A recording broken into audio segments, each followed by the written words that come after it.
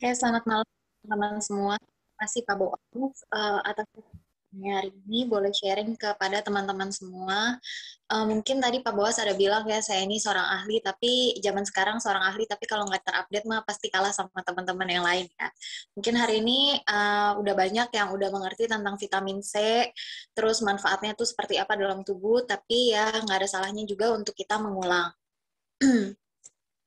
hari ini judulnya sharing aja lah uh, tentang vitamin C jadi kalau misalnya nanti ada yang mau langsung bertanya di tengah-tengah presentasi juga nggak apa-apa, langsung diberhentiin aja gitu.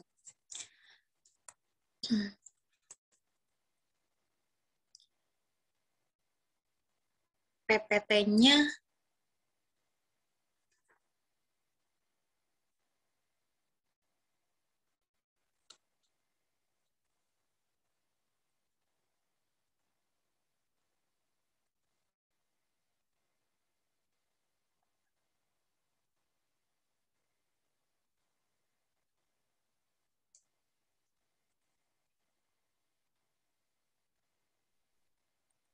Mungkin biar cepat aja ya sambil menunggu PPT-nya belum keluar. Uh, topik bahasan yang hari ini akan Christine sampaikan itu uh, terdiri dari tiga uh, sub subjudul lah ya. Yang pertama itu apakah sehat sama dengan artinya tidak sakit atau tidak sakit sama dengan sehat gitu. Terus indikator kesehatan itu sebenarnya apa? Apakah GDS yang normal, apakah tekanan darah Anda normal, apakah kalau ketika uh, hasil cek kolesterol Anda normal itu dikatakan sehat, terus kebutuhan dasar tubuh manusia itu seperti apa, sebenarnya apa aja, terus subbab yang kedua adalah tentang zat gizi. Nanti kita akan bahas sekilas yang nggak nggak mendalam, nggak banyak, nggak kayak satu materi kuliah gitu. Isinya tentang zat gizi makro dan mikro, esensial dan non-esensial. Nanti selanjutnya di subbab ketiga baru kita bahas tentang vitamin C dan uh, kaitannya dengan uh, immunity. Di dalamnya ada sistem imun tuh apa, terus vitamin C dan sistem imun kaitannya bagaimana, vitamin C sebagai antioksidan itu seperti apa nanti, dan vitamin C berkolaborasi dengan kolagen di dalam tubuh itu manfaatnya apa? Pak Boas? PPT-nya? Belum bisa ya?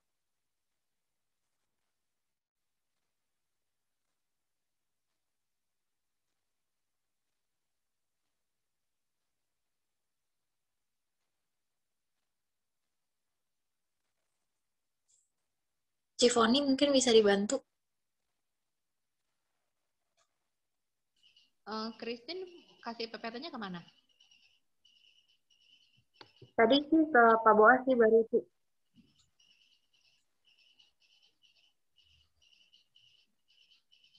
Udah nih, kan? Oh, tinggal diklik aja tuh.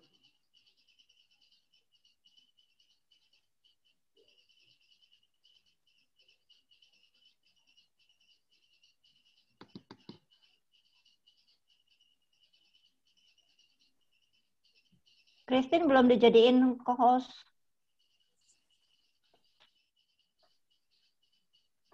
Tadi dari laptop sini nggak bisa karena gangguan sinyal. Jadinya aku kirim ke Pak Boas.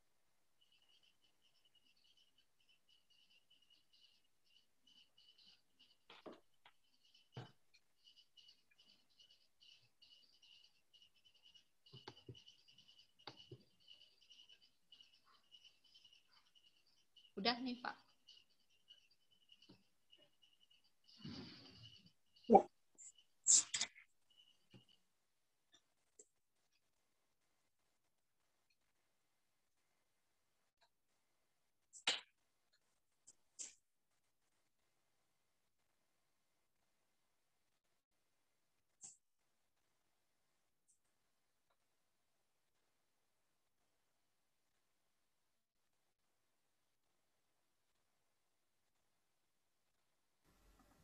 Masih belum mendengar. Um, aduh, sebentar.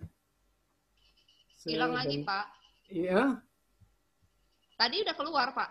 Loh, kok aku nggak dijawab tadi ya? Nggak ada suara Bapak. Nggak ada ya. Tadi aku udah teriak-teriak tuh. Sekarang gimana? uh, udah, udah keluar, Pak. Udah, udah. ya? Oke, okay. terima kasih. Tinggal digedein doang, Pak. Iya. Ya. Ya, udah, sip. Oke. Next slide, Om. Nah, ini tadi ya yang topik bahasan. Yang pertama, yang kedua, yang tiga. Langsung next aja. Nah, jadi kan kebanyakan orang tuh berpikir kalau misalnya eh, sehat itu artinya saya tidak sakit, atau sebaliknya.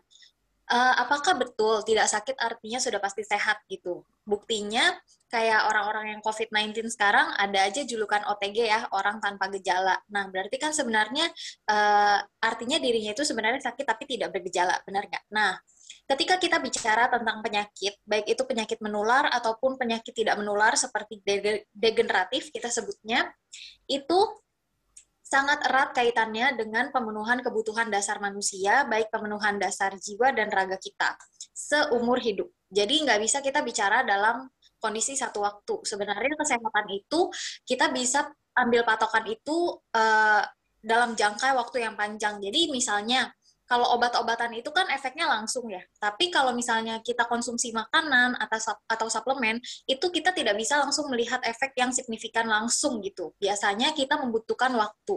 Kenapa? Karena eh, makanan dan suplai eh, gizi itu itu eh, langsung ke akar. Jadi kita tuh menyelesaikan masalahnya bukan yang di permukaan, bukan kayak misalnya ada lantai ketumpahan air gitu. Nah, kalau obat itu ya fungsinya seperti pelan lah istilahnya dia cuman ngilangin aja airnya, tapi dia nggak menyelesaikan sumber masalah air itu. Apakah keran bocor ataukah karena rembesan air dari bawah lantai, dia tuh tidak sampai di sana.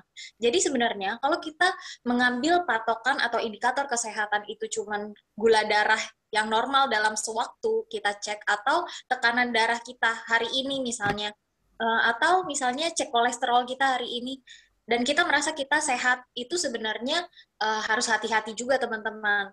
Jadi yang kita indikatorkan sehat itu sebenarnya adalah indikator kesakitan. Jadi obat-obatan yang kita konsumsi itu hanya untuk mengontrol, bukan untuk memperbaiki. Sedangkan zat gizi, makanan, dan nutrisi itu sifatnya adalah memperbaiki sampai ke akar. Jadi yang namanya kita panggil tukang ledeng untuk perbaiki sampai cuman ngelap ngelap lantai yang basah itu kan pasti lebih cepat ngelap lantai doang ya. Jadi kita butuh waktu untuk memberikan uh, suplemen atau zat gizi itu bermanfaat untuk tubuh kita gitu. Nah, kebutuhan dasar kita tuh sebenarnya apa aja sih? Terdiri dari apa aja? Yang pertama tuh makan. Udah pasti ya, bayi aja nangis pertama kali minta ASI gitu, minta disusui ibunya. Itu karena pada dasarnya setiap makhluk hidup itu membutuhkan makanan. Terus yang nomor dua adalah tidur. Tidur ini sangat penting teman-teman, apalagi tidur yang berkualitas. Jadi kita nggak bisa nih bilang, ah kok tiba-tiba hari ini saya sakit. Itu udah pasti bukan karena hari ini, tapi karena dari yang hari-hari sebelumnya atau misalnya dari pola kita yang sebelumnya misalnya oh karena pekerjaan kita jadi jarang tidur selama masa muda kita. Nah, itu bisa berpengaruh. Terus buang kotoran. Nah, buang kotoran ini itu adalah kebutuhan, teman-teman. Jadi kalau misalnya kita buang gas atau kita pipis atau kita BAB itu adalah kebutuhan. Itu sangat penting dan uh, namanya manusia itu tidak terlepas dari itu gitu. Justru kalau misalnya seorang itu nggak bisa buang gas, nah dia tuh sakit gitu. Terus sosial kebutuhan sosial kita itu makhluk sosial, jadi sosial apa bersosialisasi itu adalah uh, wujud dari kebutuhan dasar. Terus alam, apakah ada kita yang tidak suka untuk pergi ke pegunungan misalnya atau menghirup udara segar di pantai misalnya pasti semua orang suka ya.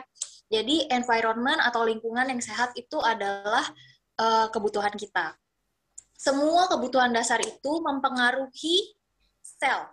Jadi tubuh manusia itu terdiri dari miliaran sel. Jadi kita tuh nggak bicara tentang satu kita gitu, tapi banyak sekali uh, sel di dalam tubuh kita yang menyusun kita gitu. Nah, sel ini itu memiliki satu uh, fungsi adaptasi yang disebut dengan homeostasis atau uh, caranya untuk membuat kondisi selalu stabil. Tetapi ada saatnya ketika sel ini tidak bisa bertahan. Contoh ya, saya ibaratkan sel ini sebagai ikan. Ada di situ ikan, ikan itu adalah inti sel, teman-teman. Nah, di dalam sel itu ada cairan intrasel, cairan di dalam sel, di mana sel itu tinggal gitu. Nah, coba bayangkan misalnya hari ini kita tuangin satu sendok gula misalnya gitu.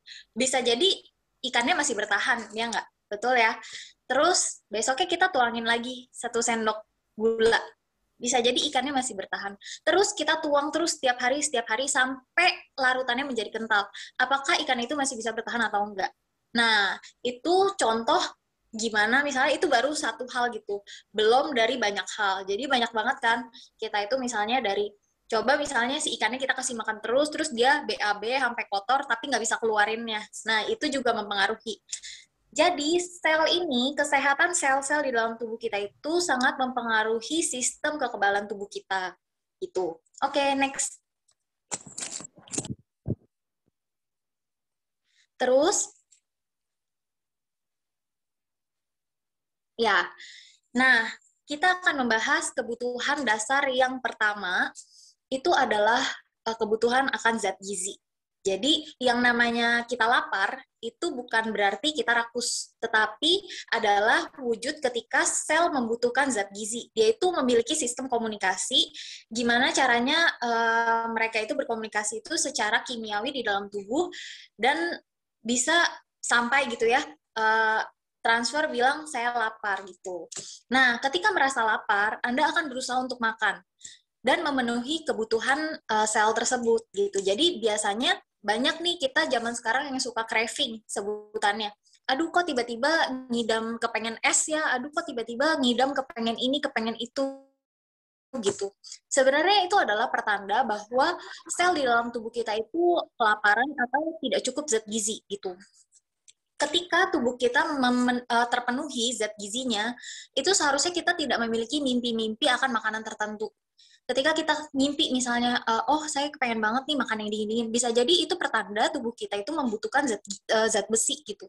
Atau misalnya ketika kita craving gula misalnya oh berarti ternyata tubuh kita itu membutuhkan zat gizi gitu untuk makan untuk uh, dipenuhi Terus saat zaman dulu itu kan kita kenal empat sehat lima sempurna, tetapi saat ini di Indonesia itu sudah menggunakan pedoman yang baru, disebutnya itu pedoman umum gizi seimbang yang menyarankan konsumsi variatif makanan, semakin bervariasi dan beraneka uh, ragam dan berwarna-warni semakin baik dalam satu kali makan. Sebab satu jenis makanan itu nggak akan cukup untuk memenuhi kebutuhan kita. Jadi kenapa bisa begitu? Karena zat uh, gizi itu terdiri dari zat gizi makro dan mikro, di mana makro itu terdiri dari karbohidrat, protein, dan lemak karbohidrat itu contohnya misalnya makanan pokok kayak misalnya nasi, bihun, petiau, tepung-tepung, itu semua dalam satu karbohidrat. Itu satu jenis yang sama gitu. Terus mie misalnya, terus protein itu terdiri dari dua ya, protein hewani dan nabati. Jadi uh, kalau misalnya kita bicara tentang protein yaitu yang membangun struktur jaringan tubuh atau memperbaiki atau protein juga bermanfaat untuk sistem kekebalan tubuh kita karena sistem kekebalan tubuh kita makanan utamanya protein dan vitamin C. Terus ada lagi makro itu lemak. Kenapa disebut zat gizi makro? Karena e, sangat dibutuhkan dalam jumlah yang besar dalam tubuh gitu. Terus ada lagi disebut yang kita butuhkan itu zat gizi disebutnya zat gizi mikro. Itu berarti dibutuhkan, sangat esensial, sangat penting, tetapi kita butuhnya cuma sedikit, jadi nggak sebanyak yang zat gizi yang makro tadi. Zat gizi mikro ini terdiri dari vitamin dan mineral. Jadi vitamin ini ada macam-macam, ada yang larut lemak, ada yang larut air gitu. Nah, kalau yang larut lemak ini biasanya lebih tahan nih sama pengolahan. Tapi kalau misalnya yang larut air, itu umumnya tuh sangat rentan. Jadi seperti contohnya vitamin C, vitamin C ini tuh larut air teman-teman. Dan dia itu nggak tahan sama sekali sama panas. Jadi kalau misalnya kita lagi sakit, terus udah gitu, uh, eh minum jeruk panas itu udah pasti kalian nggak dapet vitamin C yang seharusnya ya. Karena vitamin C itu rentan sekali terhadap panas gitu. Jadi kalau misalnya kita mau asupan vitamin C itu jangan diolah.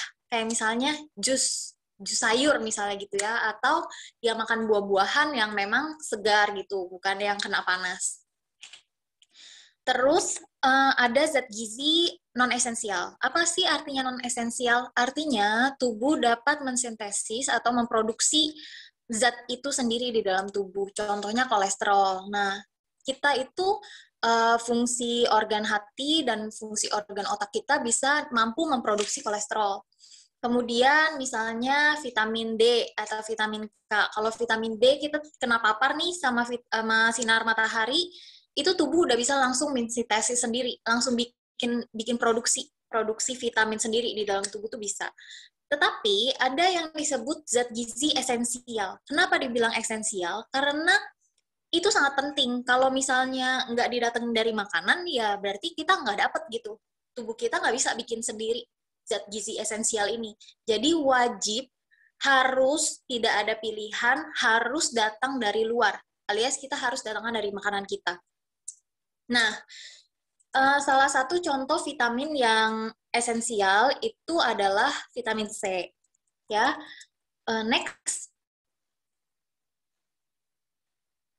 Oke, di sini mungkin saya pengen kasih gambaran aja untuk teman-teman secara singkat tentang sistem imun.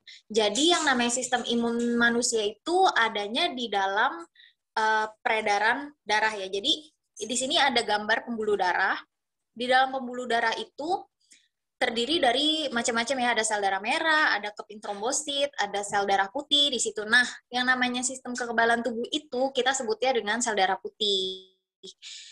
Terus, teman-teman, sel darah putih ini tuh ada yang initiate immunity dan adaptive immunity. Nah, itu kita nggak perlu tahu lah ya. Uh, yang penting adalah si sel ini tuh semuanya banyak istilah kata kalau pertahanan perang itu ada yang tugasnya nembak, ada yang tugasnya uh, ditangkap, ditelan gitu, ada yang tugasnya uh, gebukin misalnya gitu. Itu jadi mereka tuh saling bekerja sama nih sistem kekebalan tubuh. Dan sistem kekebalan tubuh ini itu 80 kali di dalamnya sel darah putih itu vitamin C ada di dalamnya dibandingkan dengan di cairan darah. Jadi kalau misalnya diambil serum darah gitu ya, diambil cairan darah, dicek vitamin C itu 80 kali lebih banyak ada di dalam sel darah putih, teman-teman. Jadi vitamin C ini sangat penting untuk uh, keberlangsungan hidup sel uh, kekebalan tubuh kita. Sangat penting sekali gitu. Oke, okay, next.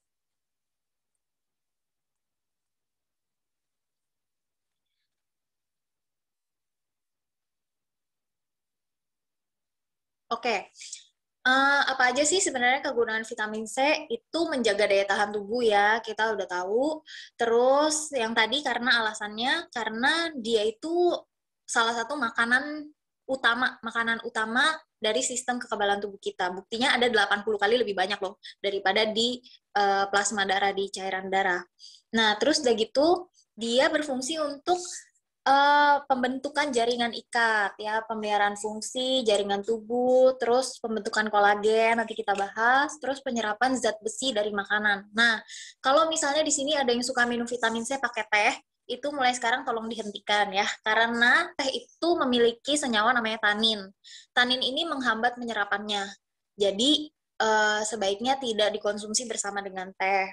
Terus vitamin C ini mampu merubah uh, struktur kimia struktur kimia dari zat besi dari feri menjadi ferro. Artinya apa? Artinya semakin mudah diserap tubuh. Jadi tadinya tuh uh, sulit gitu ya, tapi dengan adanya bantuan vitamin C, si zat besi ini berubah menjadi uh, menjadi struktur yang sangat mudah kita pakai gitu. Jadi udah bisa langsung pembentukan sel darah merah gitu. Terus vitamin C juga bisa menjadi antioksidan. Jadi dia ini memiliki elektron yang dapat disumbangkan kepada radikal bebas gitu ya. Nanti kita bahas juga supaya ada bayangan. Oke, okay, next.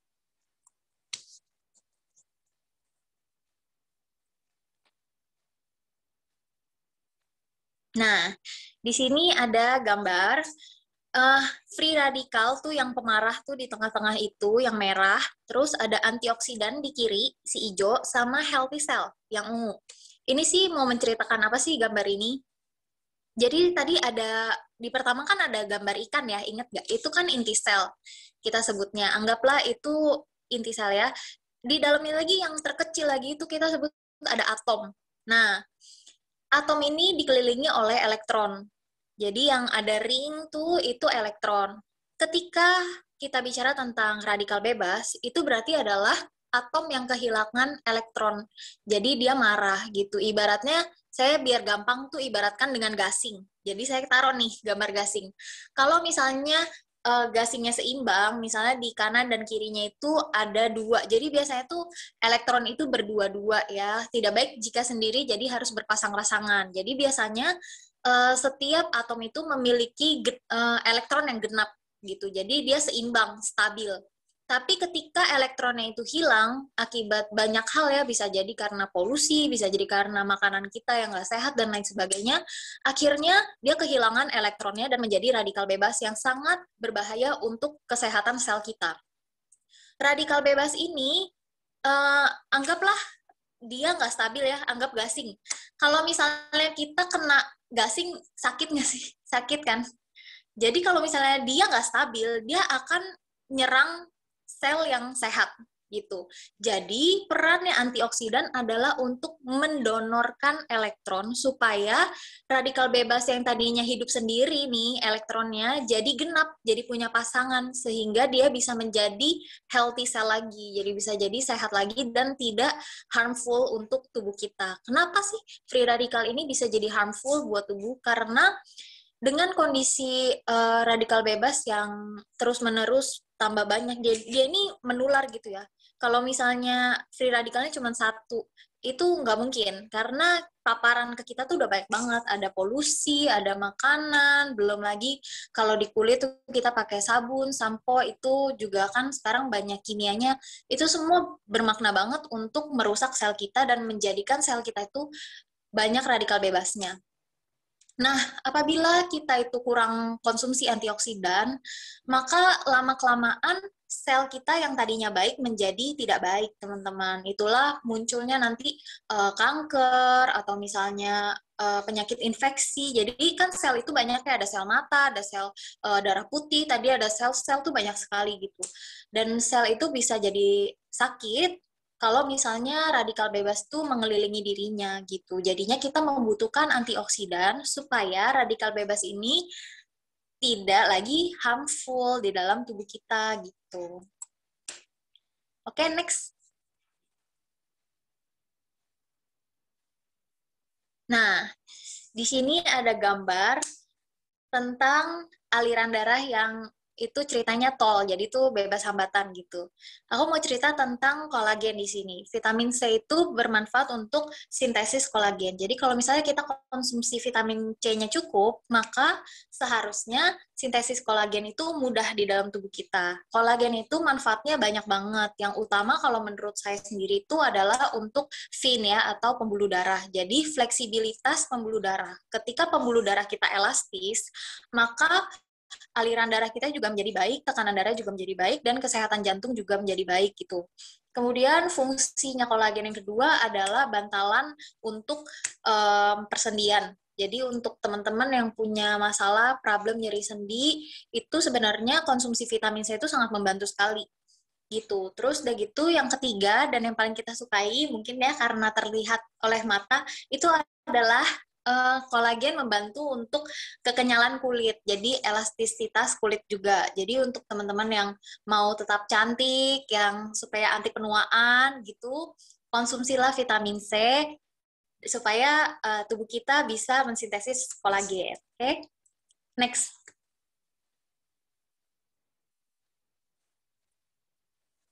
Sekarang kita masuk membahas ada apa dengan vitamin C-nya atau mie kebetulan saya sendiri uh, dulunya nggak konsumsi vitamin C atomi, tetapi sekarang saya konsumsi vitamin C atomi. Nah, vitamin C atomi itu kontennya apa sih? Di sini sih dia tulisnya nih 550 mg vitamin C dan 7 jenis color food dia bilangnya. Kalau misalnya orang yang awam kita bilang, ha color food berarti dia pakai pewarna makanan gitu. Ternyata bukan ya. Jadi jangan buru-buru kita translate salah gitu. Terus dalam satu kemasan Atomi Color Food Vitamin C adanya rasa mangga asam manis, oke? Okay? Dalam satu boxnya Atomi itu isinya 90 saset. Jadi kalau misalnya dihitung rupiah, saya kan emak-emak ya ibu-ibu, jadi perhitungan. Satu saset tuh harganya 3 ribuan, teman-teman. Oke, okay, next.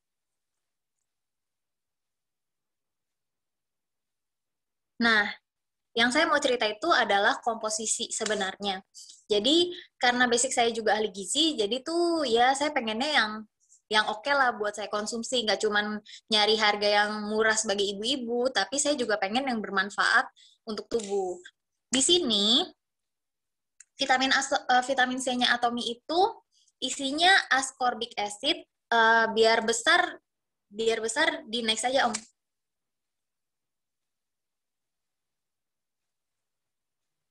Nah, ini vitamin C-nya Atomi isinya itu ascorbic acid sama sodium ascorbat. Ini adalah vitamin C yang sudah buffered. Kalau misalnya uh, ditanya apa sih buffered itu ya, artinya dia sudah aman untuk lambung. Jadi ada banyak nih kalau di luaran tuh orang mungkin lebih kenal dengan ester C gitu ya. Jadi hmm, sodium itu mewakili mineral. Jadi tadinya kalau misalnya cuma ascorbic acid sendiri itu pH-nya asam sekali. Mungkin untuk teman-teman yang punya problem lambung khawatir nih untuk konsumsi vitamin C yang murni gitu karena bisa eh, nggak uh, enak gitu mungkin lambungnya ya. Jadi nyarinya yang aman. Teman-teman harus mengetahui bahwa vitamin C-nya Atomi ini seharusnya sudah cukup aman untuk yang sudah punya problem uh, lambung karena dia sudah bentuknya buffer, teman-teman. Ada yang pakainya magnesium ascorbat, ada yang pakainya kalsium ascorbat gitu. Tapi Atomi punya itu pakainya sodium ascorbat, which is itu yang menurut saya itu cukup aman sekali karena setiap manusia pasti makannya eh, nggak ada yang tanpa garam ya. Nah, ini juga kandungan garamnya sedikit, cuma 80 mg, jadi masih termasuk aman. Terus untuk teman-teman yang punya diabetes mellitus, jangan takut untuk konsumsi vitamin C atomi karena pemanisnya itu menggunakan pemanis xylitol dan steviol, which is itu sangat aman dan tidak harmful, uh, tidak akan menaikkan kadar gula darah teman-teman. Oke, okay, next. Nah, sekarang tentang yang tadi bahasan color food. Color food itu bukan artinya uh, pewarna makanan, tetapi warna-warni makanan. Setiap tumbuhan itu kan punya warna-warna sendiri, ada warna hijau, ada warna merah, kuning, dan sebagainya. Itu disebut juga dengan uh, kandungan flavonoid atau ya senyawa antioksidan. Jadi di dalam vitamin C-nya atomi ini sudah diperlengkapi dengan antioksidan. Kalau tadi kan kita bilang ya antioksidan itu donor elektron. Terus teman-teman tadi udah tahu ya kalau misalnya vitamin C itu sangat diperlukan di dalam setiap sel e, darah putih. Jadi sel darah putih itu ada banyak banget. Anggaplah itu ada makrofag, ada T limfosit, ada B limfosit dan sebagainya. E, di sini anggaplah yang butuh makan vitamin C itu 5 gitu ya. Ini sistem kekebalan tubuh. Sedangkan vitamin C itu uh, dual function, ya kan? Dia tuh harus berfungsi juga sebagai antioksidan, benar ya? Nah, kalau misalnya uh, dia masuk tanpa bantuan antioksidan yang lain, vitamin C itu bisa jadi habis aja untuk antioksidan tanpa uh, ke kekebalan tubuh gitu. Jadi dengan diperlengkapinya vitamin C atomi ini dengan antioksidan teman-teman, artinya fungsi vitamin C untuk makanannya kekebalan tubuh itu jadinya 100%. Benar nggak? Tadinya dia harus repot donor elektron dan lain sebagainya untuk menjadi antioksidan. Karena sifatnya memang si vitamin C ini sendiri adalah antioksidan. Tetapi dengan diperlengkapinya dia dengan warna-warni makanan, jadi dia tuh uh, rich banget dan udah ada antioksidannya. Jadi udah bareng gitu jalannya si vitamin C sama antioksidan udah bareng sama-sama. Sehingga uh, vitamin A, vitamin C atom ini recommended banget kalau menurut saya dengan harga segitu terus uh, udah ada kayak gini gitu dalamnya gitu. Oke, okay, next on. Nah, ini sebenarnya pilihan sih. Jadi nggak ada yang paksa uh, teman-teman untuk berganti vitamin atau gimana, nggak ada. Uh, atau yang biasa ngejus buah setiap hari juga it's no problem at all gitu. Jadi itu adalah pilihan. Tetapi perlu diketahui kalau kita makan uh, makanan gitu ya memang yang terbaik adalah mendatangkan zat gizi itu dari makanan kita ya dari uh, makanan yang kita makan tanpa suplementasi tapi perlu diketahui dalam satu buah jeruk aja itu kalau saya baca ya itu sekitar 50 mg. only gitu. Kalau misalnya kita butuhnya sehari itu kan dianjurkannya 500 sampai 1000 ya. Berarti harus berapa banyak yang kita konsumsi gitu pasti banyak banget. Belum lagi karena masalah pengolahan atau kualitas buahnya atau misalnya dia tersinar terlalu lama dan sebagainya, itu kontennya mungkin berubah ya atau karena perlakuan tertentu.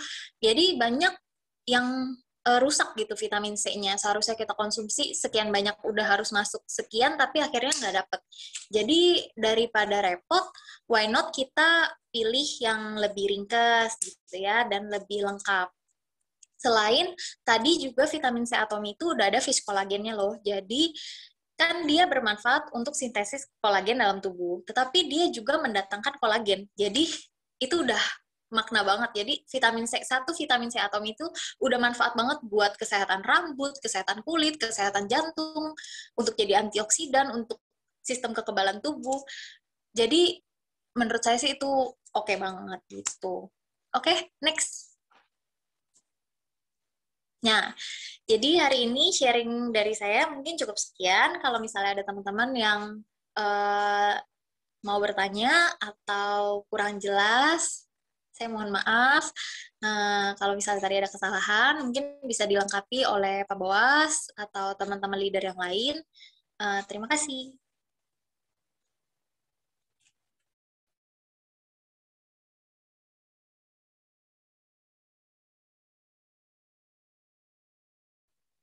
Kembalikan ke Pak Boas atau Ciponi.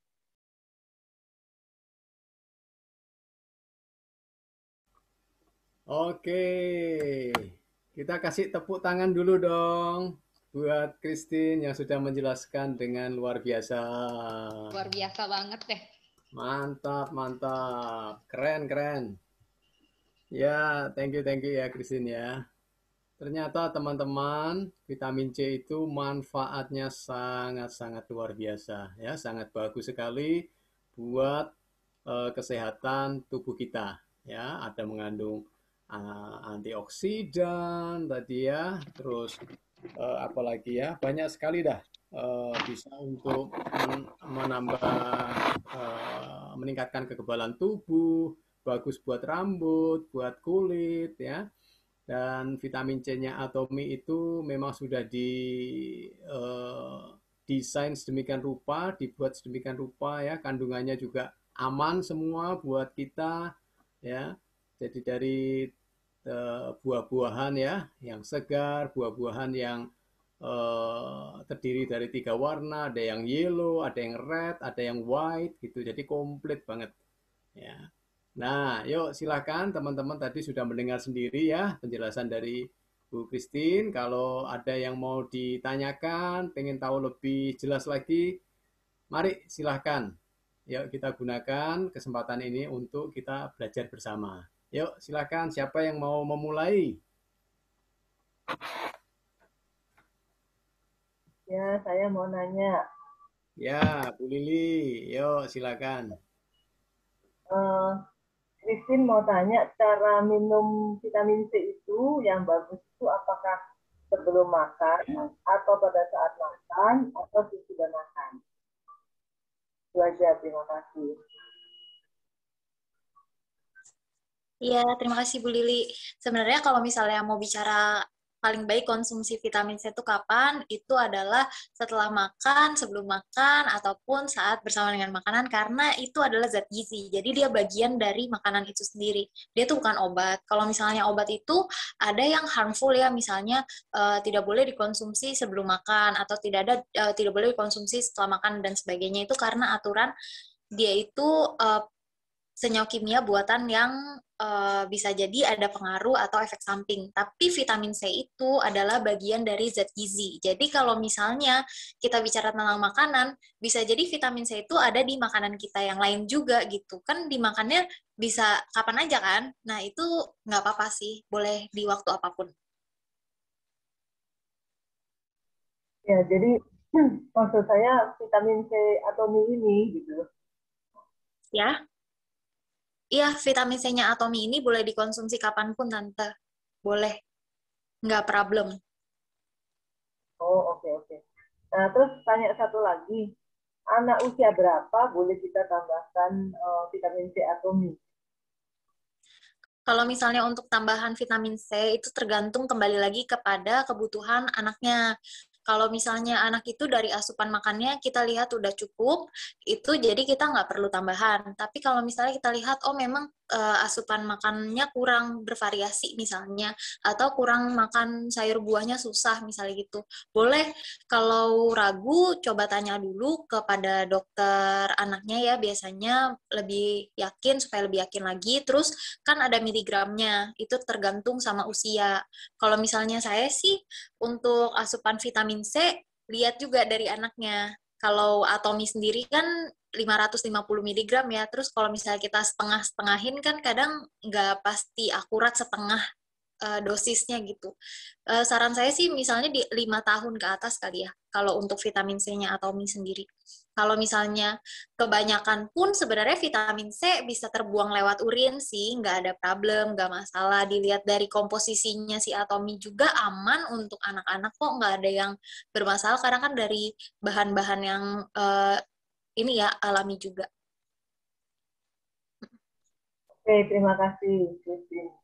Sama. Halo, uh, saya boleh nanya? Iya. Oh, silakan, Halo. Terima kasih, Pak Boas. Halo, Tin. Thank you. Bagus banget presentasinya. Tin, mau nanya, eh uh, gini, kan vitamin C ini kan buffer ya, jadi sebenarnya aman berlambung kan? Iya. Tapi kan suka ada aja ya orang yang tetap bilang bahwa dia tuh kalau makan vitamin C atau mie tuh sakit mah gitu. Jadi dia pengennya setelah makan gitu. Itu kayaknya orang-orang seperti itu sebetulnya lebih ke nocebo efek ya daripada benar-benar kena gara-gara vitamin C ya. Dia lebih ke nocebo efek ya. Jadi sugesti ya, bener ya. Kayaknya gitu ya, Tin. Terkadang nggak juga sih. Jadi uh, hmm. yang namanya perut manusia itu kan beda-beda. Apalagi ketika tingkat hmm. stres melanda itu pas pasti hmm. uh, kadar asam di lambung kita itu biasanya umumnya uh, naik. Sebenarnya dibilang naik hmm. juga enggak ya. Jadi yang namanya asam lambung itu emang dasarnya udah asam gitu. Jadi pH-nya hmm. itu ya udah dua, udah tiga gitulah. Itu udah asam hmm. sekali. Tapi yang membuat uh, orang itu jadi sakit lambung itu adalah karena mukos mukus jadi lapisan lambungnya itu terkikis gitu. Nah, pada kondisi-kondisi tertentu apalagi ketika seseorang itu lagi uh, stres ya itu menjadi tipis lah lapisannya gitu sehingga asam lambung hmm. yang tadinya tidak melukai itu jadinya melukai jadi jadi lecet lah ibaratnya gitu. Nah tetapi perlu diketahui bahwa yang namanya lambung itu sejatinya seharusnya asam bukan basah. Kenapa? Hmm. Karena Tuhan udah menciptakan barrier. Jadi asam lambung itu adalah barrier. Sebenarnya itu juga adalah sistem kekebalan tubuh kita gitu. Barrier tubuh itu terdiri dari kulit dan lambung juga salah satu barrier kita. Kenapa? Ketika makanan masuk, makanan itu bisa jadi masih mengandung bakteri dan kuman gitu. Nah, asam ini akan menghancurkan, melumatkan dan membunuh kuman gitu. Nah, banyak orang-orang berpikir bahwa konsumsi uh, vitamin C itu membuat lambung mereka tuh jadinya tambah sakit dan sebagainya. Sebenarnya itu bukan karena vitamin C, teman-teman, tapi memang karena kondisi tubuhnya sendiri gitu. Tetapi uh, dewasa ini atau misalnya zaman sekarang ya, untuk kondisi orang-orang yang hmm. punya GERD, jadi yang reflux gitu ya, yang asam lambungnya naik hmm. atau misalnya punya problem sama leaky gut, yang misalnya problem hmm. usus, suka sendawa misalnya atau buang angin, itu adalah tanda-tanda gitu. Itu justru terapinya harus naturally healing dengan acid. Jadi kalau misalnya dari kita ya, Eh, terapinya itu malah dengan ACV misalnya apple cider vinegar misalnya gitu atau dengan lemon atau bitter mm. ya sebenarnya vitamin C itu nggak harmful ya buat orang-orang yang dengan GERD dan sebagainya itu justru seharusnya mm. tidak konsumsi uh, obat lambung terlalu banyak karena obat-obatan lambung itu menyebabkan ya. kondisi mm. lambung kita tuh menjadi basah Nah, iya. ketika kondisi lambung menjadi basah, artinya adalah uh, lambung tidak dapat menjalankan fungsinya untuk menghancurkan hmm. makanan dan enzim-enzim pun tidak dapat uh, beraktivasi apa beraktivitas dengan baik gitu karena sejatinya lambung seharusnya asam gitu. Mungkin menjawab? Iya. Iya sih, uh, teorinya gitu. Jadi kalau misalnya orang suka bilang, ah ini aku tetap apa ya tetap sakit mah ya tetap kita tetap nggak bisa bilang nocebo efek atau apa ya tetap kita bilang ya sudah kalau gitu konsumsi aja setelah makan jadi dia kan lebih tenang kali gitu ya gitu ya Iya, Atin sorry Apalagi kan Uh-uh. vitamin C-nya udah bagus, jadi bisa sih aman. Mm. Iya, Tin mau nanya satu lagi. Aku belajar lagi satu. Beliau ini eh, ahli gizi kepresidenan juga konon ya. Nah, kata dia sih, eh, eh jelas nggak ya suaranya? Jelas ya, Tin ya? Takutnya aku pakai HP soalnya. Nah, dia tuh ngajarin tentang dosis, Tin. Jadi Dosis? katanya kalau vitamin C, eh, eh, kalau kalau lu sariawan pakai dosis yang dua setengah, 250. Kalau seandainya lu sariawan pakai vitamin C 1000 nggak akan sembuh katanya. Terus kalau kena virus itu pakai 500 mili gitu. Jadi gua kan eh, mencoba Hmm. menerapkan itu. Tapi waktu gua coba terapin Uh-uh. itu, terus di ada yang ngomong juga enggak lah, gue pakai seribu juga sembuh gitu kan. Jadi gue nggak enak sendiri gitu. Mungkin bisa dijelasin ya soal dosis gimana? Ya, kalau misalnya dosis, sebenarnya sih dosis yang diber- diperlukan oleh tubuh itu sangat sedikit ya dibandingkan sama yang kita konsumsi 500 atau 1000. Tubuh itu umumnya ya maksimum-maksimum itu paling butuhnya 75 sampai 80 mg vitamin C sehari. Tetapi kenapa disarankannya 500 sampai 1000? Karena fungsinya vitamin C itu banyak banget tadi.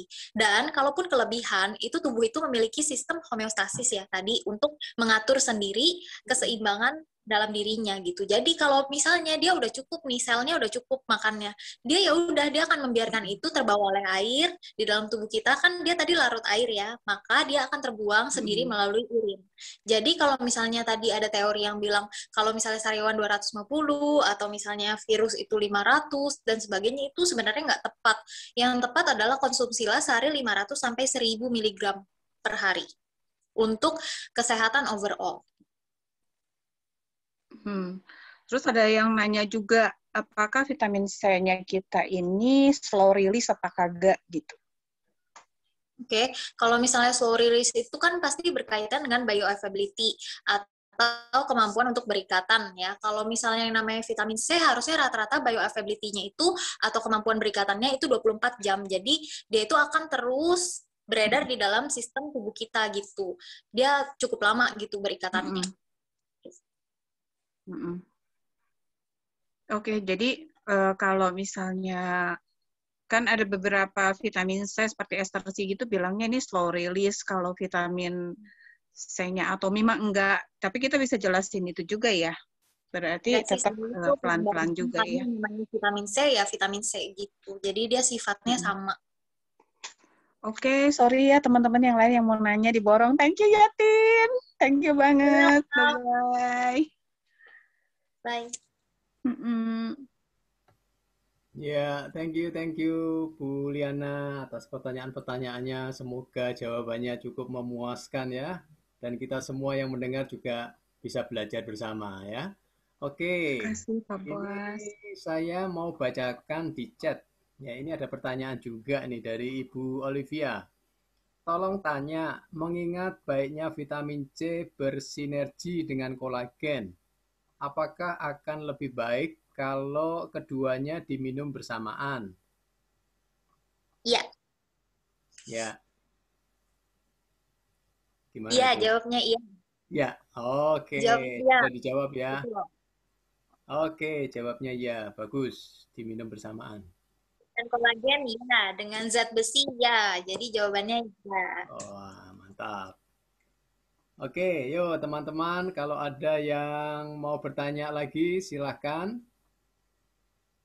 Mumpung pakarnya siap untuk berbagi ilmu, ayo silakan.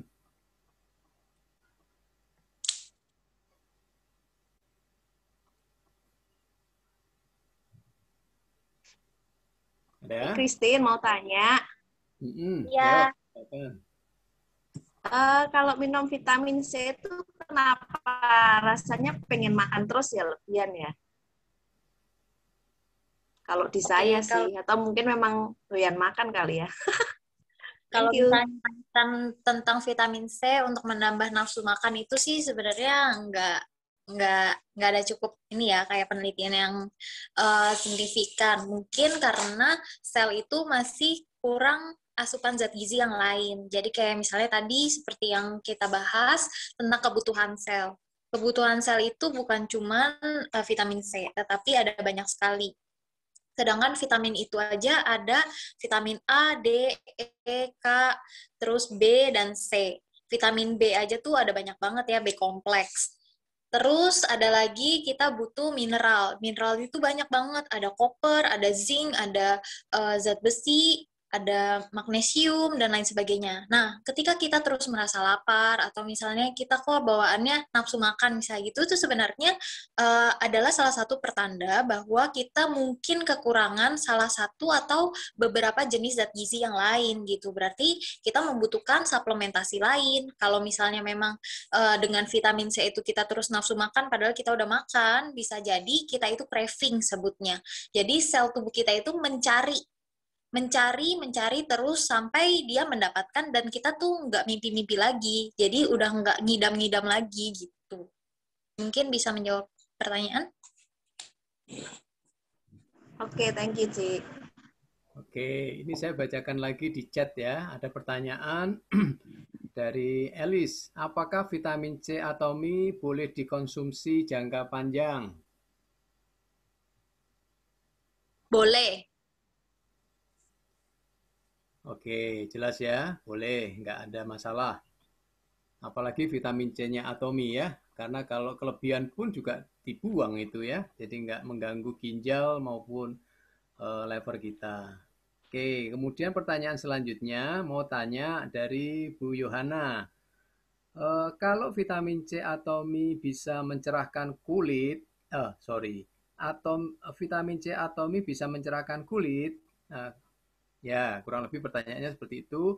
Mirip vitamin C yang disuntik ke kulit. Apa ada hubungannya? Nah. Oke, berbeda. Jadi misalnya uh, vitamin C yang kita konsumsi itu kan dia masuk uh, lewat ini ya maksudnya lewat sistem pencernaan. Kalau misalnya vitamin C yang disuntikan itu biasanya tuh sifatnya ya bertahan di bawah lapisan dermis gitu, di bawah lapisan kulit.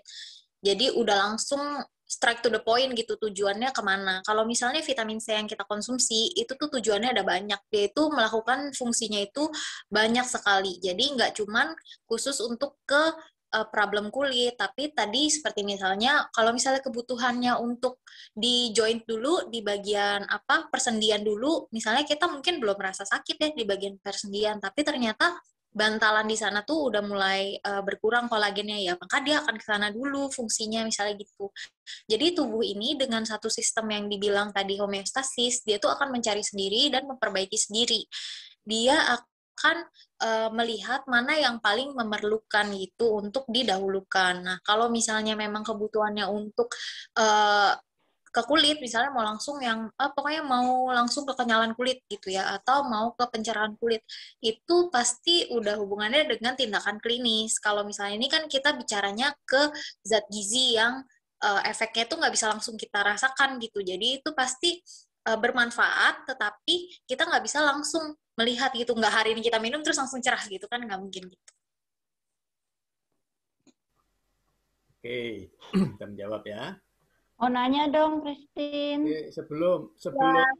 sebelum Mevi bertanya, kita mau foto dulu. kita break dulu, kita foto dulu ya. Nah. Keburu lupa nih pertanyaannya. enggak, enggak, enggak. Oke. Okay. Yuk, kita foto dulu. Silahkan. Uh, Oni, Foni. Ayo, boleh, boleh. Buat teman-teman, silakan buka kamera. Nah, yuk, mari ditunggu, ditunggu. Ada tiga halaman. Ayo, yang lain. Oke, satu-satu tuh bentar ya, masih masih buka satu-satu. Sebentar. Oke, ini ini aja ya. ya. Oke, yang udah buka kamera, senyum manis. Buria, baru nongol Buria. Foto nongol, ayo. Ayo boleh semuanya. Pak I mana Bu, Bu Lili Pak I? Nggak ikut foto? Pak I. Nggak ikut ya? Oke, yuk. Yuk ya, ini tunggu ada yang ikut. Ikut, ikut, tuh, ikut. Ayo, siapa yang ikut lagi? Ayo, oh, Pak I langsung ikut. Ayo Pak I. Bentar, bentar ya. Ini agak ngeheng. Bentar. Oke, sa- saya hitung sampai tiga ya. Satu, dua, tiga. Bentar. Satu, dua, tiga. Halaman dua. Ya. Satu, dua, tiga. Eh, sorry, sorry. Bentar, bentar. Halaman dua, satu, dua, tiga. Halaman tiga. Satu, dua, tiga. Ya, silakan diteruskan, Christine. Oke, thank you, Oni, Foni. Nah, sekarang Ya, sama-sama. silakan Mevi. Mevi mau tanya. Ya, saya mau tanya eh, sama Ibu Christine. Kan kalau tadi katanya vitamin C sama kolagen oke. Sama apa tadi? Zinc oke. Zat besi. Eh, zat besi oke. Nah, pertanyaannya yang nggak oke itu sama apa? Hmm, Ada kalau nggak? misalnya yang nggak oke sih sebenarnya nah, plus minus ya. Kalau dibilang ada kontranya sebenarnya kalsium. Jadi vitamin C dengan kalsium tuh ada beberapa yang eh, kontra gitu. Tapi sejauh ini sih nggak ada yang terlalu bermakna. Cuman memang ada eh, kontra. Jadi kalau misalnya mau minum kalsium dengan vitamin C ya dijarak aja. Oke, thank you. Terus saja. Oke, yuk silahkan teman-teman kalau ada yang mau testimoni ya, ada mau sharing eh, setelah minum vitamin C-nya Atomi, mendapat manfaat apa.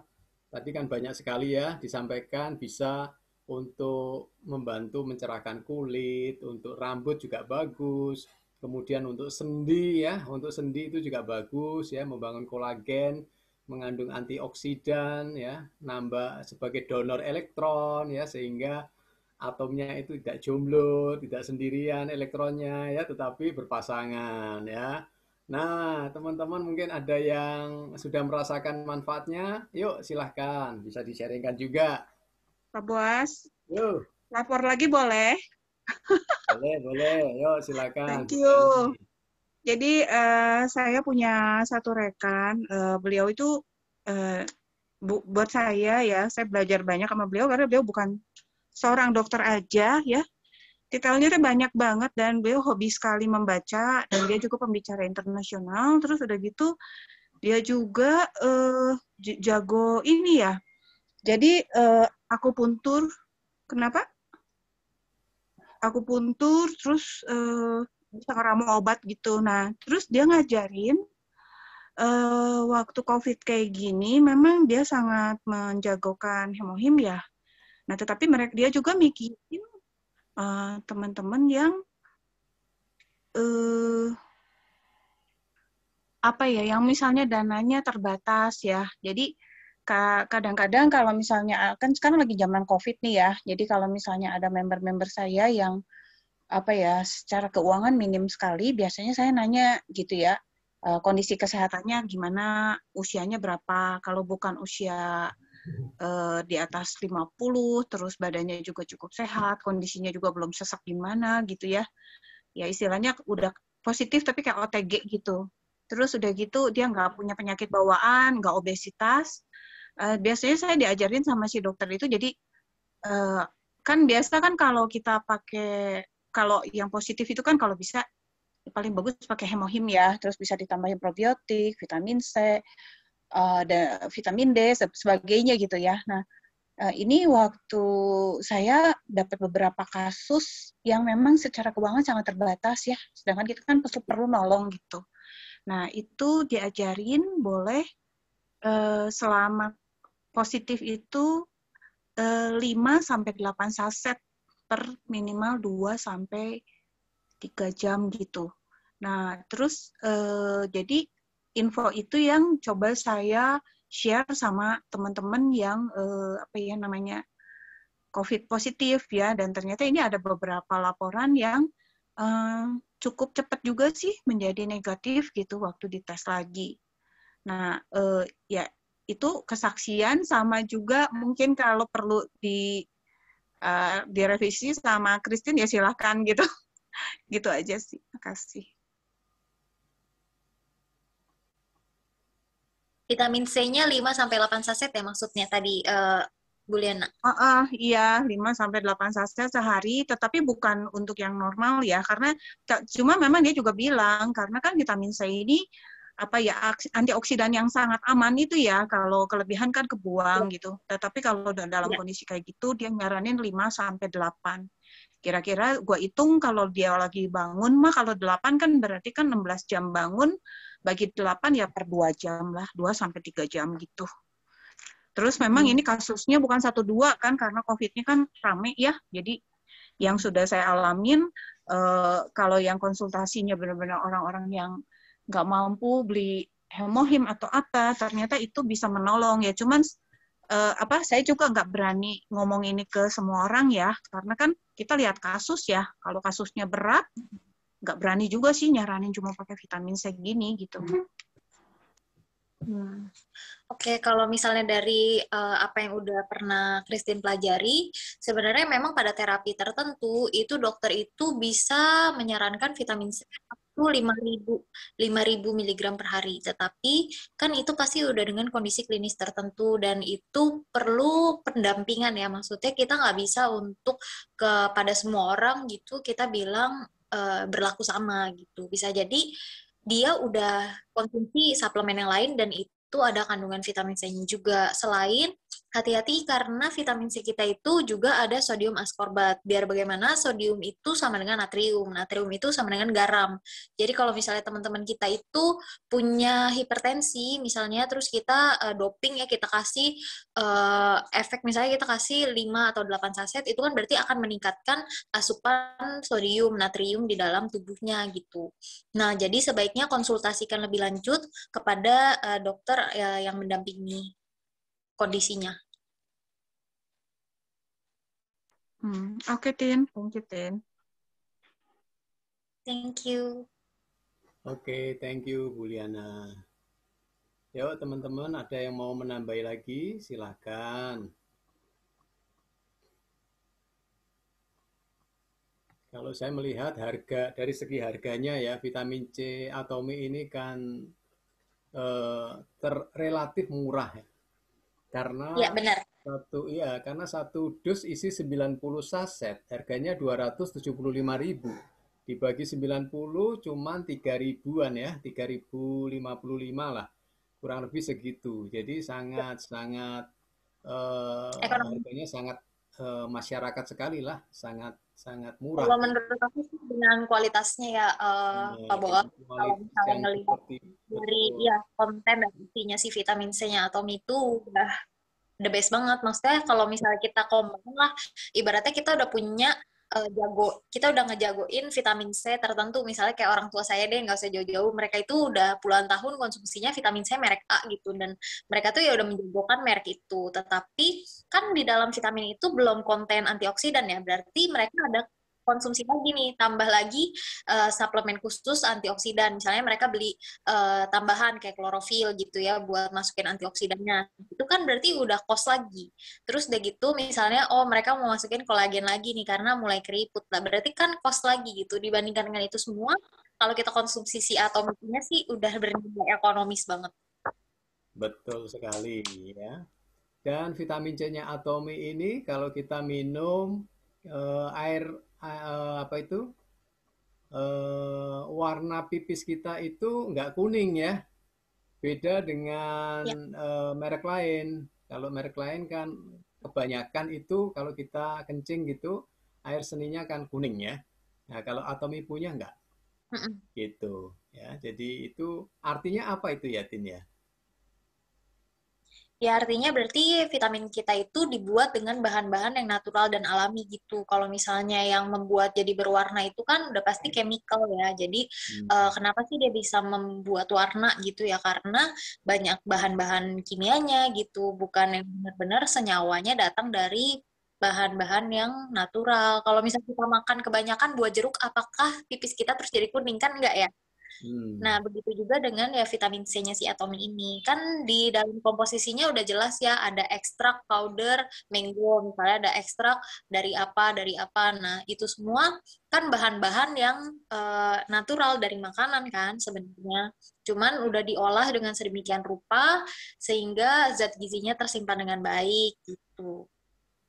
Ya, betul sekali. Ya, jadi aman sekali vitamin C-nya atomi ya, karena tidak ada kandungan chemicalnya. Semuanya uh, terbuat dari uh, tanaman herbal ya. Jadi sangat aman. Ada fishnya Om. Oh ya, ada fishnya juga ya. Uh, uh, uh, uh, betul, betul. Oke. Okay. Ada yang mau nambahin lagi? Ada yang mau tanya atau testimoni? Silahkan.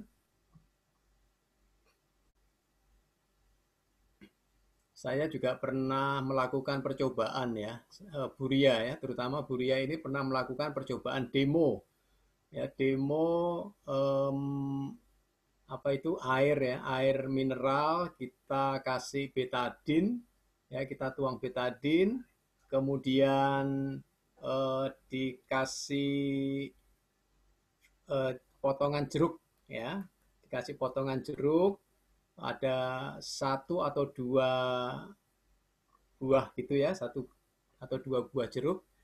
E, ternyata betadinnya itu e, masih kelihatan warnanya coklat di air tersebut.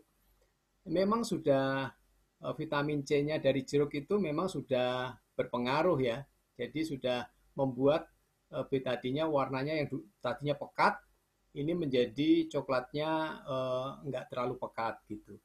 Nah, tetapi ketika percobaan itu dilakukan dengan vitamin C-nya atomi, ya hanya sedikit saja ditaburkan di air tersebut, itu dalam waktu sekian detik langsung jernih itu airnya. Betadinya gone, hilang.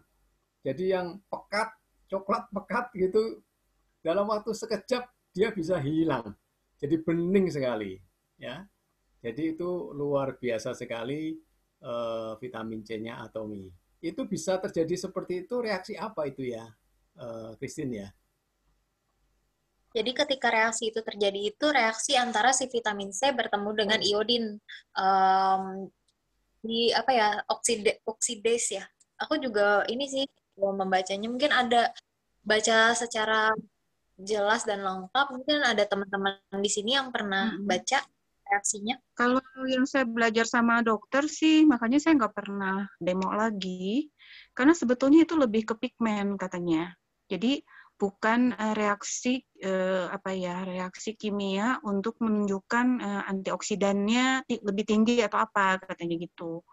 Jadi waktu itu saya jadi nggak pernah demo lagi karena si dokter bilang gitu. Tetapi memang kalau aku lihat-lihat di YouTube ada juga yang pakai daun kelor apa juga memang jadi apa bening kembali gitu cuman uh, ya tetap aja mungkin apa ya secara reaksi kalau kita ngobrol pigmen atau apa pun tetap itu kan mungkin bisa dianggap toksin atau apa saya nggak ngerti lah.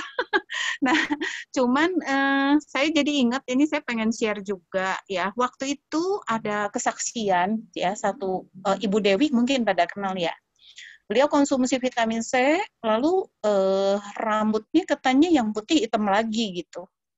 Jadi mungkin kan ada helaian rambut yang putih, tapi eh, terusannya jadi hitam gitu kan ya. Jadi sehelai rambut itu awalnya putih, eh nyambungnya numbuh-numbuh terus. Nah, tumbuhan yang lebih bawahnya itu hitam gitu. Nah terus waktu itu malah uh, saya nanya sama si dokter, dok masa iya gitu ya vitamin C bisa uh, apa ngitemin lagi rambut yang putih? Kata dokter iya karena uh, uban tuh salah satu proses oksidasi. Jadi uh, apa ya kayak misalnya sang modan siampo kita juga ya banyak kesaksiannya kan rambut putih ya mungkin nggak hitam semua ya atau jadi hitam gimana tapi kalau dicek before after itu signifikan gitu perubahannya. Mungkin itu silahkan teman-teman yang mungkin ada ahli kimia apa ini cuman kebetulan saya pernah presentasi jadi uh, dapat info itu gitu. Tapi kita di sini kan bisa sama-sama belajar saling ngelengkapin silahkan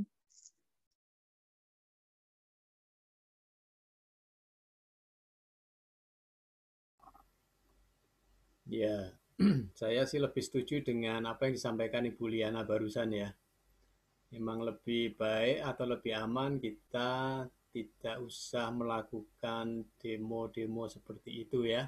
Meskipun nampaknya memang wow banget gitu ya, tetapi uh, kalau bisa sih uh, ya langsung langsung aja diminum, dirasakan efek terhadap tubuhnya bagaimana itu mungkin lebih lebih uh, pas ya, lebih mewakili gitu.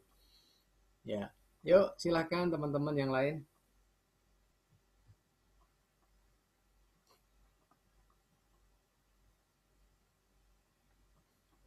Ada yang lain?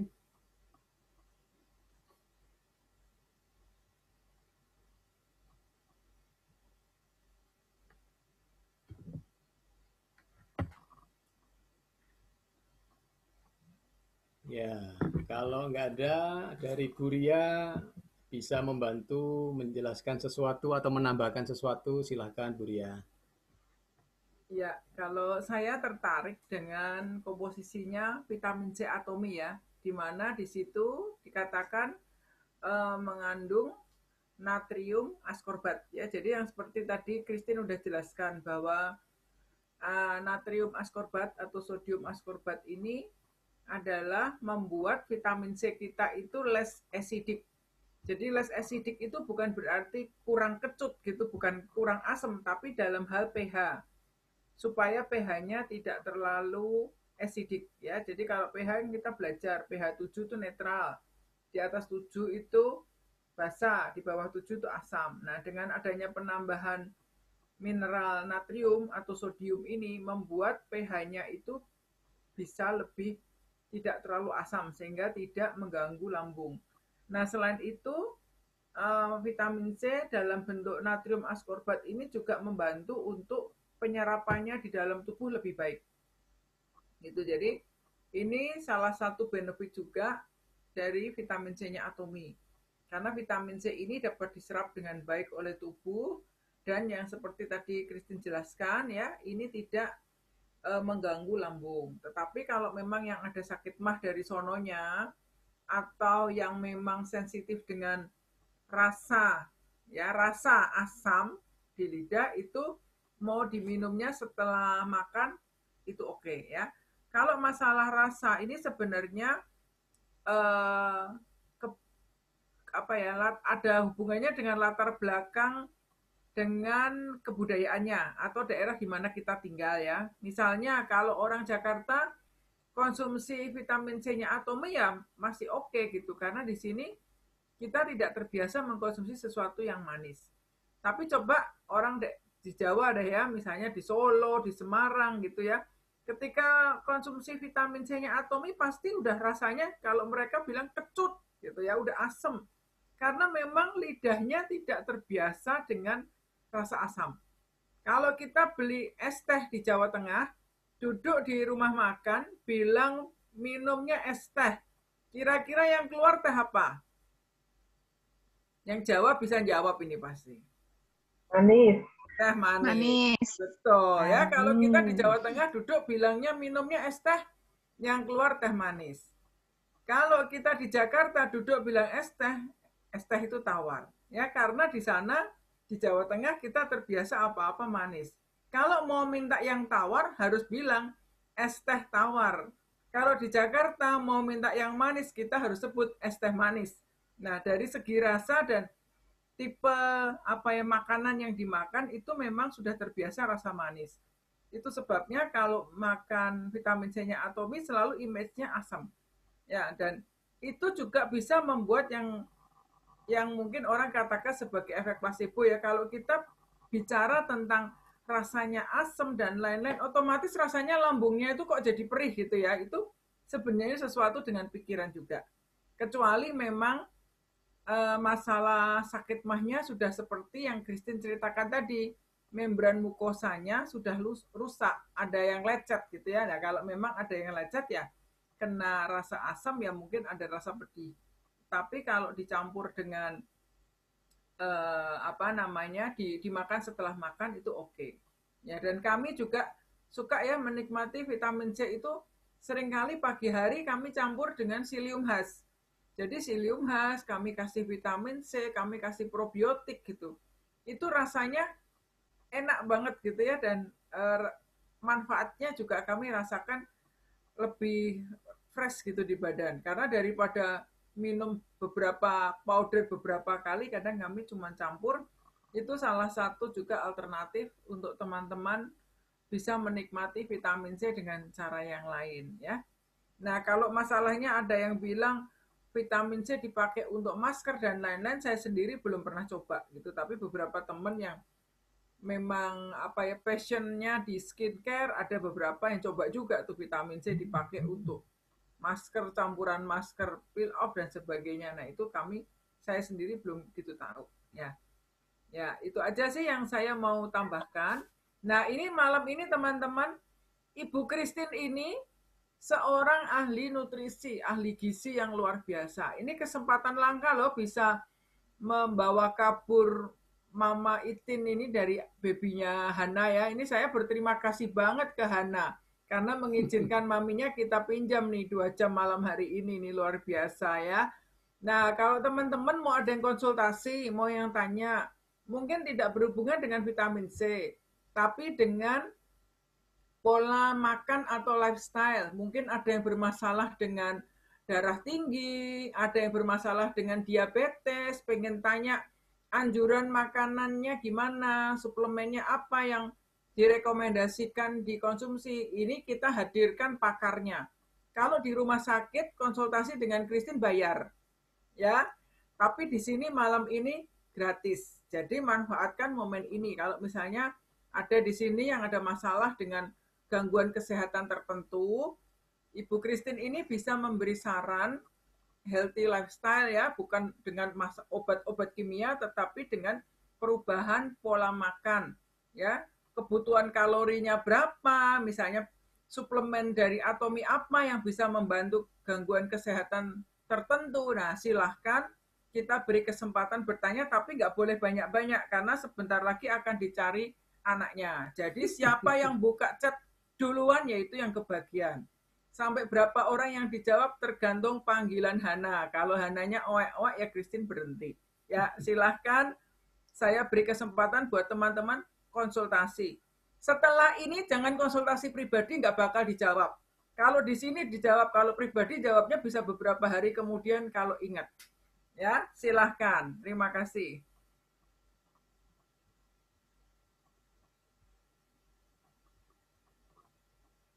Ada yang mau tanya? Jangan tanyanya sesudah ini ya. Nanti Bu Ria tolong dong tanyain. Saya tidak mau jadi pengantara. Kalau mau bisa langsung buka chat tanya malam ini dengan Ibu Christine ya. Atau bisa C sama omega 3. Bisa langsung boleh. Perlu dijarah tidak perlu. Vitamin C sama omega 3 boleh barengan.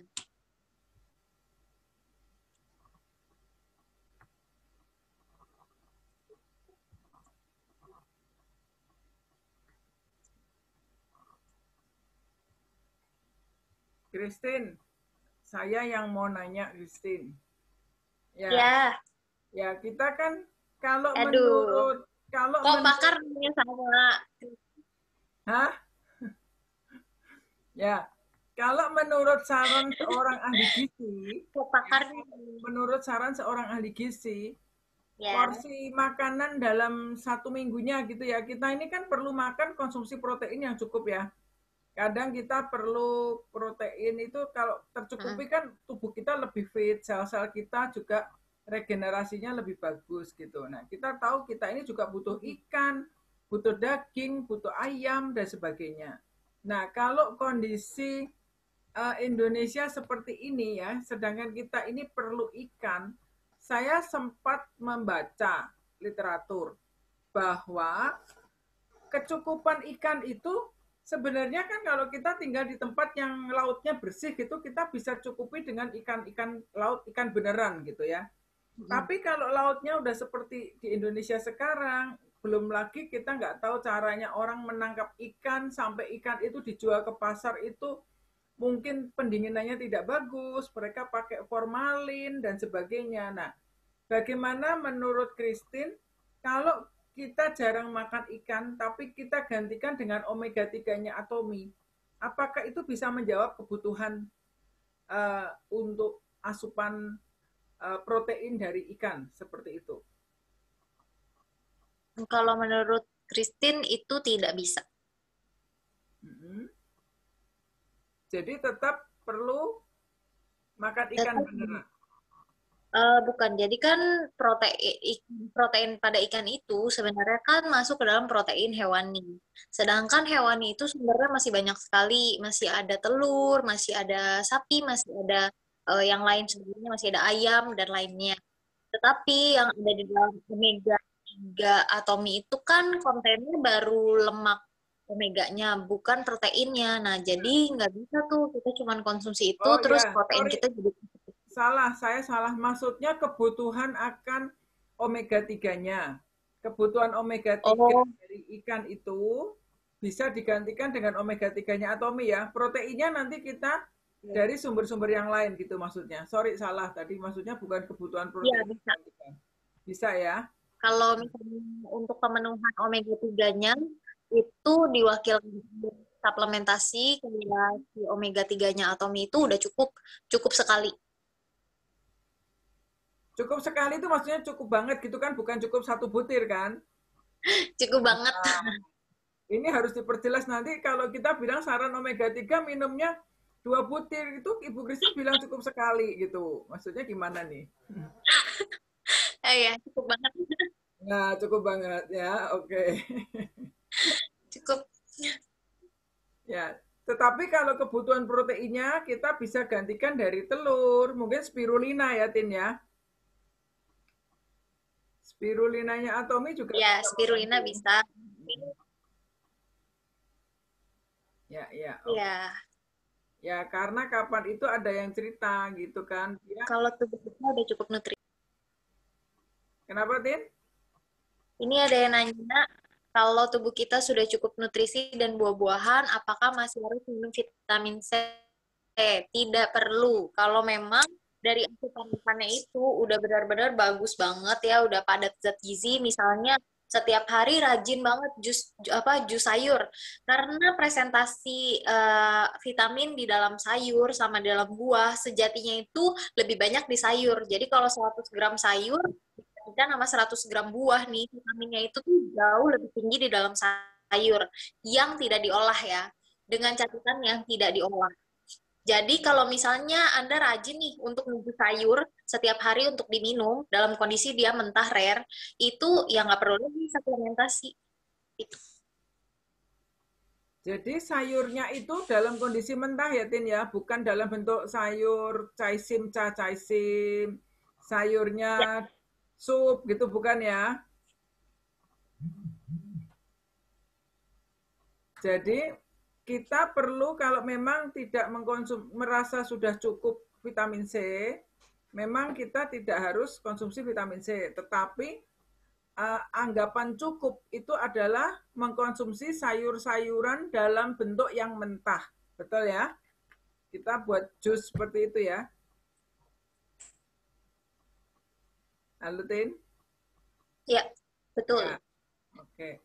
Halo. Karena kan ada ya, orang betul. yang nanya, saya cukup kok makan sayur, makan buah tiap hari gitu. Tetapi kan definisi cukup itu berapa porsi, Tin? Dikatakan cukup sayur dan buah itu. kalau misalnya dibilang cukup sayur dan buah itu biasanya per satu kali makan kan kita wajibnya makan itu sebenarnya disarankan tiga kali makan utama sama dua kali snack. Kalau misalnya dikatakan cukup itu berarti minimal ya tiga kali 300 gram sayur. Jadi misalnya uh, pagi blender deh ini apa jus sayur 100 gram minimal ya mentah. Jadi 100 gram itu mentah bukan uh, diolah gitu. Itu diminum tiga kali. Cukup. Dan perlu yang warna-warni ya. Sebaiknya begitu. Ya, ini di kolom chat ada beberapa pertanyaan. Ini ada pertanyaan yang tadi kelewat, Ciria. Ini dulu deh. Ayo, yang ya. Vivi silakan baca yang pertanyaannya, Vi. Tadi yang kelewat apakah vitamin C-nya itu boleh diminum bersamaan dengan obat darah tinggi Norvac? Halo? Uh, kalau misalnya diminum bersama, halo? Ya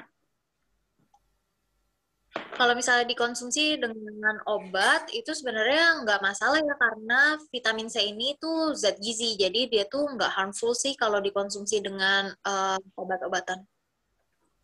Ya itu cukup menjawab ya. Terus ada pertanyaan lagi. Uh, kalau tubuh kita ini tadi udah ya, kayaknya udah ya yang tadi ya. Nah, tadi dikatakan vitamin C atomi dari bahan alami, maka urin tidak hmm. berwarna. Bagaimana dengan vitamin B ya. kompleks atomi? Saya dan putri saya urinnya sangat kuning bila konsumsi vitamin B. B kompleks mungkin ya maksudnya.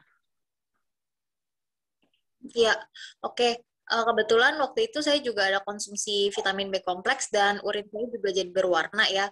Terus uh, memang saya juga kayak nggak cocok dengan vitamin B kompleksnya Atomi karena uh, ada mual, apa karena udah terlalu banyak uh, konsumsi yang lain atau bagaimana.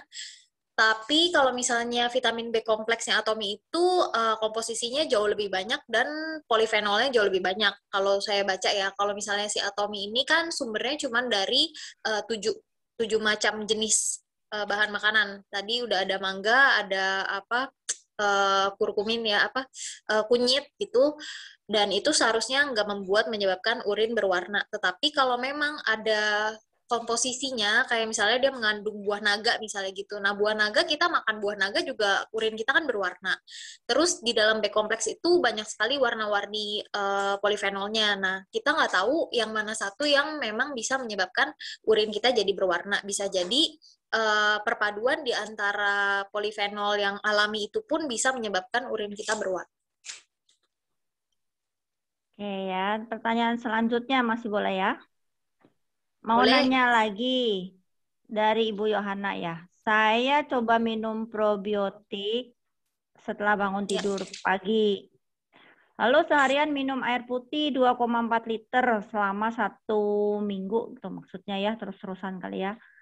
Ternyata tiap bangun pagi, pas melek pinggang saya sakit kayak pegel gitu. Jadi eh, agak sakit pas bangunnya nggak enak banget. Saya kira takutnya ginjal, tapi satu minggu itu saya banyak minum plus jaga makanan. Waktu saya nggak minum probiotik lagi. Jadi nggak sakit pinggang. Pas besok bangun tidur, oh pas maksudnya waktu nggak minum probiotik lagi, jadi nggak sakit lagi pinggangnya. Besoknya ya, apa ada pengaruhnya? Oke, kalau misalnya menjawab apakah probiotik ini ada pengaruhnya dengan sakit ginjal, itu jawabannya sudah pasti tidak, karena probiotik ini tidak ada kaitannya dengan uh, menyebabkan problem dengan ginjal. Justru sebaliknya, probiotik ini manfaatnya sangat baik sekali untuk sistem uh, kesehatan tubuh kita secara keseluruhan. Probiotik ini adalah sebenarnya bakteri baik ya. Jadi di dalam tubuh kita sendiri sebenarnya tanpa kita asup probiotik itu sebenarnya sudah ada probiotik seharusnya tubuh kita sudah ada bakteri baiknya. Tetapi karena banyak hal atau misalnya konsumsi antibiotik terutama itu jadinya uh, bakteri baik di dalam tubuh kita itu jadi bisa berkurang atau bahkan uh, sangat sedikit jumlahnya dan itu justru mempengaruhi uh, kesehatan kita gitu karena keberadaan bakteri baik ini itu sangat membantu uh, banyak hal terutama di masalah pencernaan jadi pencernaan ini kan sistemnya panjang sekali dan paling panjang. Itu sampai ke uh, usus besar ya. Jadi kalau misalnya kita bicara pencernaan itu mulai dari mulut sampai ke pembuangan itu semua pencernaan. Nah, bakteri baik ini itu beredar dan terutamanya berada di sana selain di kulit. Jadi kalau misalnya bilang dia menyebabkan problem pada ginjal atau menyebabkan sakit pinggang itu kalau menurut saya sih bukan dari si probiotik. Jadi jangan menyalahkan probiotiknya. Coba cari uh, faktor yang lain karena pasti masih ada faktor penyebab yang lain tetapi saya bisa pastikan bahwa itu bukan dari probiotik. Oke, terima kasih cukup menjawab ya. Mau nanya lagi dari Ibu Linda. Makan buah langsung dengan buah yang di jus, apa beda kandungannya? Eh, kok karena pernah iya. dengar buah kalau di jus sudah tidak ada vitaminnya. Iya, oke. Okay. Kalau misalnya kita makan buah langsung sama buah yang di jus itu berbeda, pasti berbeda. Apalagi kalau jusernya itu bukan juser yang standar ya, kan ada sekarang macam-macam juser ya. Ada yang um, apa vakum juser dan sebagainya gitu. Nah, itu kenapa sih pengaruhnya? Karena memang itu udah diteliti juga teman-teman. Kalau misalnya putaran pada blender itu menyebabkan panas. Jadi itu kan fisika ya. Kalau misalnya kita putar-putar-putar terus dia akan menjadi energi panas gitu. Nah, panas itulah yang akan merusak kandungan zat gizi atau vitamin di dalam uh, buah-buahan yang kita konsumsi itu. Jadi memang sebaiknya buah-buahan dikonsumsi langsung daripada di jus. Oke ya. Berikutnya dari Bu Erlina Wati. Lalu kalau ada teman yang sakit asam urat, nutrisi yang baik untuk mengurangi sakit asam urat gimana? Apa gitu maksudnya mungkin ya?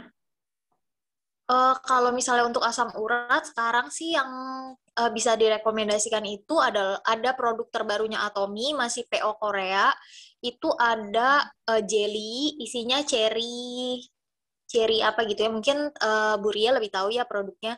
Tapi itu udah uh, melewati banyak proses penelitian juga dan memang terbukti bahwa uh, konsumsi itu dapat menurunkan uh, asam urat.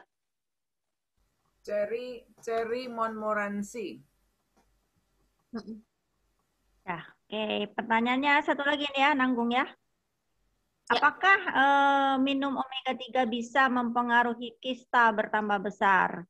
Karena saya merasa minum omega 3 di dalam perutnya beras eh karena apa ya? Ya, karena saya merasa minum omega 3 di dalam perutnya berasa nggak enak seperti kembung. Oke, kalau konsumsi omega 3 terhadap kembung tidak, konsumsi omega 3 terhadap penambahan kista tidak.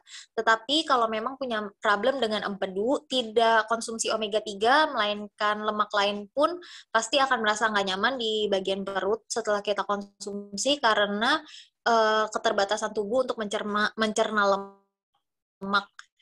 Jadi mungkin boleh periksa diri untuk uh, problem pada ini fungsi empedu.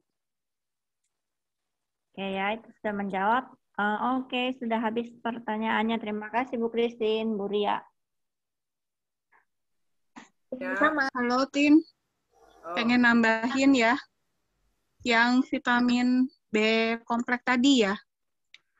Ya. Aku cuma pengen, uh, ya bukannya fanatik sama atomi ya, tapi maksudnya aku pengen nambahin kayaknya aku pernah belajar juga itu tuh jadi kalau vitamin B kompleksnya di badan kita udah uh, jadi kan khawatirnya gini kecampur sama yang tadi vitamin C kita kan tidak berwarna berarti kan nggak banyak kimia gitu kan. Nah jadi kan waktu kita ngobrol gitu terus ada loh kok kalau kita pipis minum B kompleks berwarna berarti banyak kimia? Nah takutnya kan gitu ya jadi aku kayaknya pengen nimbrung sedikit terakhir maaf udah malam.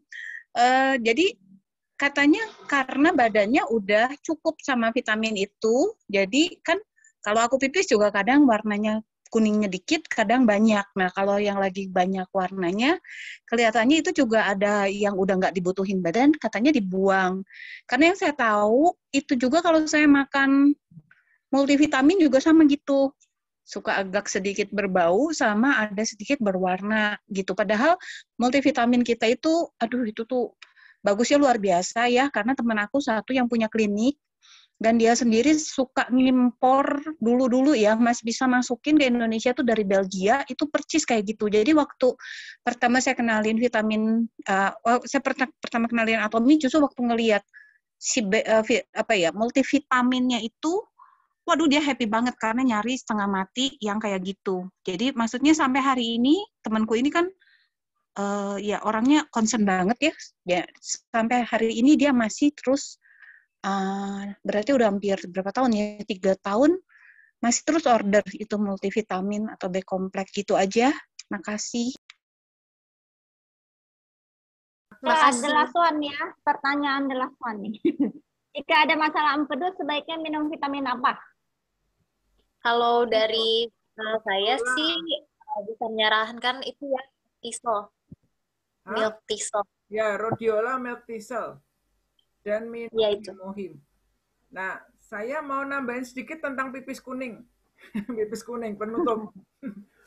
Kenapa kalau minum vitamin B kompleks pipisnya kuning? Nah, jadi gini, vitamin B kompleks itu salah satu kandungan di dalamnya adalah vitamin B2. Nah, vitamin B2 itu punya nama lain riboflavin. Ya, jadi flavin itu dari kata dasarnya flavus, itu artinya memang kuning. Jadi ya memang apa pun vitamin B kompleks itu kalau ada vitamin B2-nya pasti pipisnya kuning karena ada kandungan riboflavin.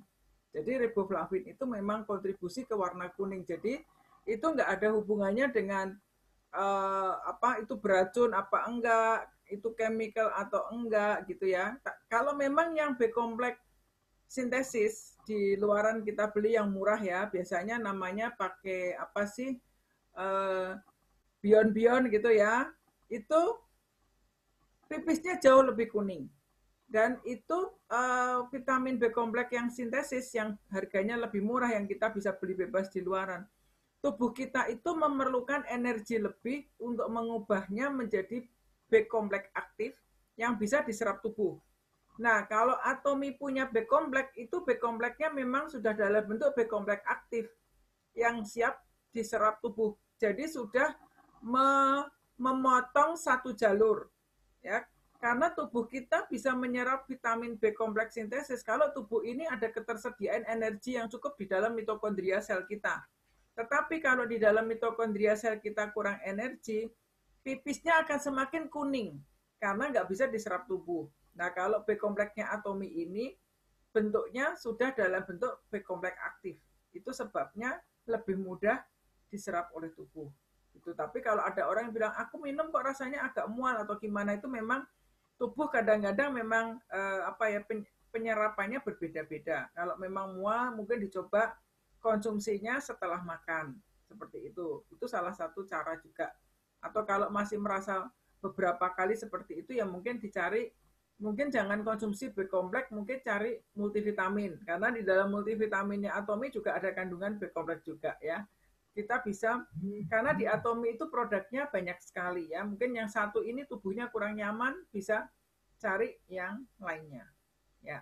Nah, sekarang kita benar-benar ditutup aja ya karena kalau nggak bisa nyambung terus bisa shift 3 dibuka lagi karena ini ada orang-orang yang tambah malam tambah terang nih salah satunya Foni dan Bu Eka kalau semakin on ya. Oke. Saya ucapkan banyak terima kasih ya buat teman-teman yang malam hari ini bergabung. Ini Bu Yanti di Palembang pun masih on malam hari ini luar biasa Ci Yanti. Thank you banget juga untuk teman-teman lain yang dari Solo, dari Cirebon, Bandung, dan dari luar kota lainnya yang sudah menyempatkan untuk sharing malam hari ini. Dan special thanks buat Ibu Christine Angela ya, ini luar biasa banget sudah meluangkan waktunya ya. Aku yang terima kasih. Dan special thanks juga untuk Baby Hana yang sudah meminjamkan Mami Itin buat kita semua malam hari ini. Spesial Kiranya ya, papinya Hana udah oh, ya, meluangkan untuk papinya Hana yang sudah mengizinkan Mami Hana dipinjam. Kalau nggak ada papi Hana nggak ada jaga baby ya. Ya, jadi thank you banget karena uh, sharing malam hari ini luar biasa ya, sangat memperkaya kita, menambah pengetahuan gitu dan semakin kalau buat saya semakin cinta atomi. Kalau saya yang ditanya kapan sih yang waktu yang tempat yang tepat minum vitamin C-nya Atomi? Jawaban saya kira-kira apa? Waktu yang tepat ketika kita ketemu orang, ketika di depan orang Iya, lain iya, itu ketemu waktu orang. yang paling tepat minum vitamin C-nya Atomi. Begitu ketemu teman, keluarkan vitamin C disobek diminum. Pasti temannya akan tanya, itu apa yang diminum dan kita bisa cerita panjang lebar tentang Atomi. Karena vitamin C-nya bisa diminum kapan saja. Jadi sering-seringlah ketemu teman-teman supaya Anda ada kesempatan untuk mengkonsumsi vitamin C dan produk-produk lainnya. Ya, thank you banget. Malam ini luar biasa sekali sharingnya ya. Saya sangat excited sekali dan malah nggak ngantuk. Jadi tambah malam tambah seger nih. Ya, eh, sebentar kita akan tutup ya ruang Zoom-nya. Sorry, ini kepencet sesuatu ini. Ya, terima kasih buat teman-teman yang sudah bergabung malam hari ini.